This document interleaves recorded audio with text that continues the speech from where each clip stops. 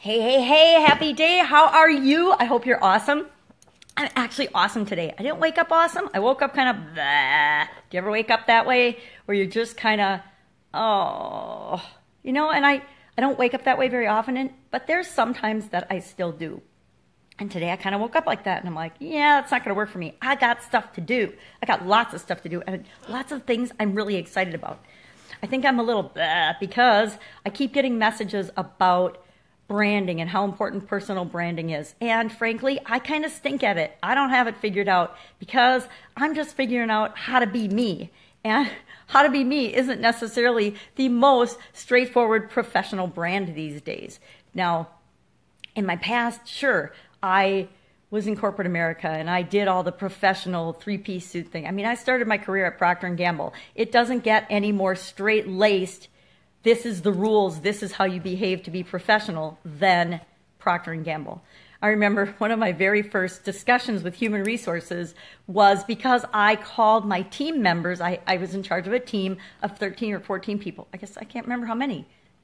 At least a dozen people there. And coming from the Midwest in Wisconsin, we say you guys or girls and boys, not boys, but girls and guys.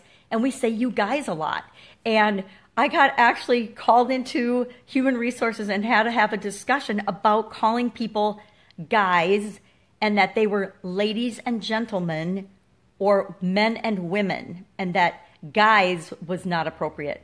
So I showed them. I just started saying y'all because I lived in Dallas for a couple of years and so I just said, all right, I'm not calling them ladies and gentlemen, and I and I loved them all, and, but I'm not gonna. They weren't.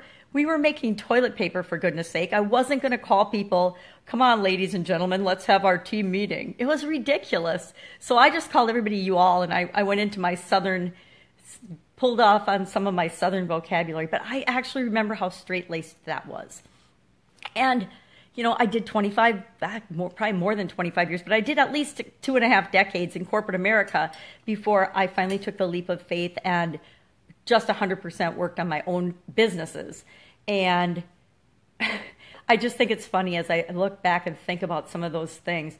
But as I'm thinking about branding and how do I brand me, how do I do that? And part of why I was attracted to Pajama Gramma and why, well, Pajama Gramma is me because I did find myself early this year. I was in my pajamas every day. I'm sitting at my computer as I'm moving to the online world, and I was always in my pajamas and robe because I didn't have to get dressed to talk on the phone unless I'm on a Facebook Live.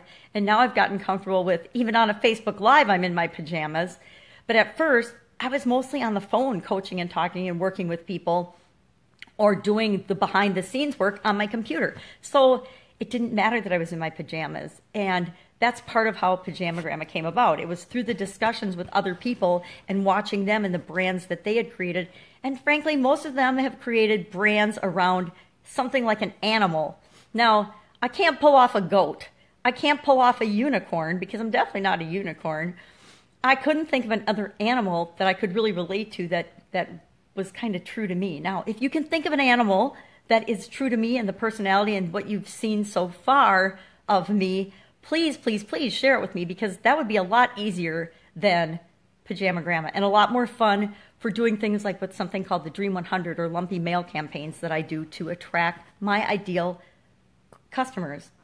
So all of that led to Pajama Gramma. But I struggle with people not taking a persona like Pajama Gramma seriously. Now, I think it's pretty interesting because I, as I started doing Facebook Lives. Facebook Lives are scary, and most people will never do them.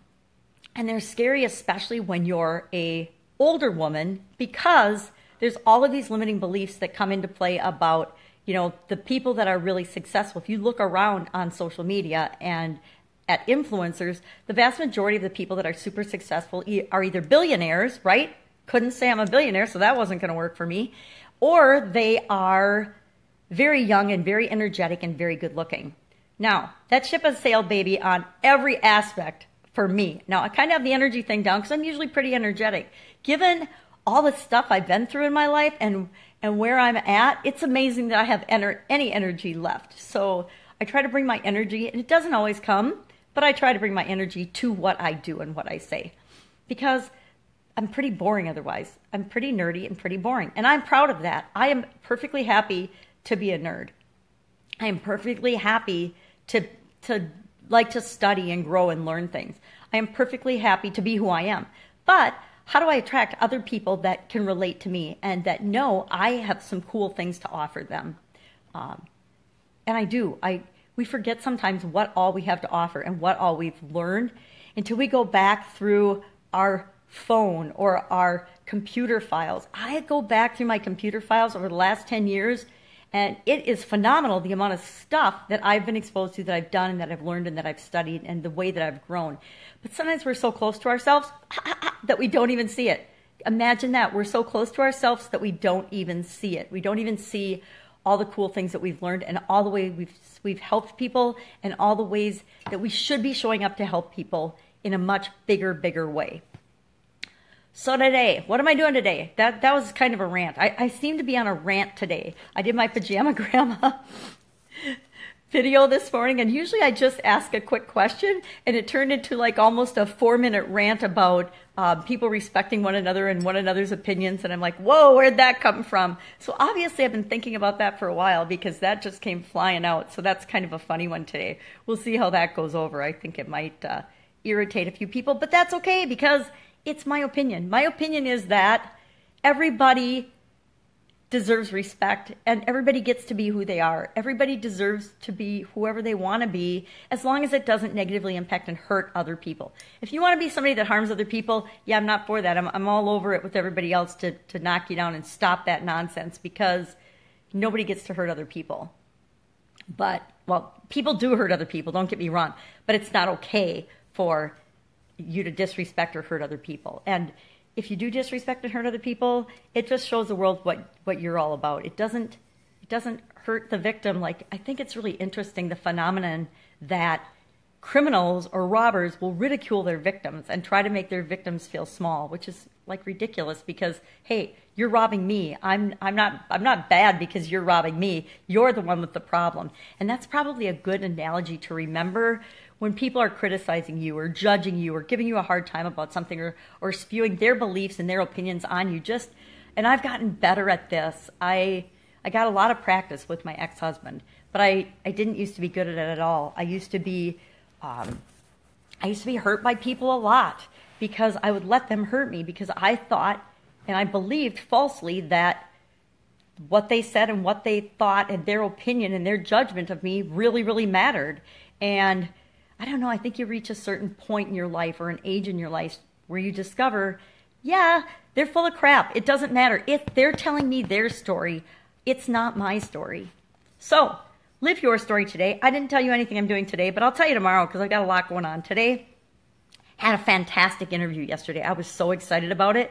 Put it up there. So if you have chronic pain in any way, shape, or form, or know anyone that does, listen to the interview. I did on my Pajama Gramma podcast called The Truth About Chronic Pain Treatments. It is phenomenal.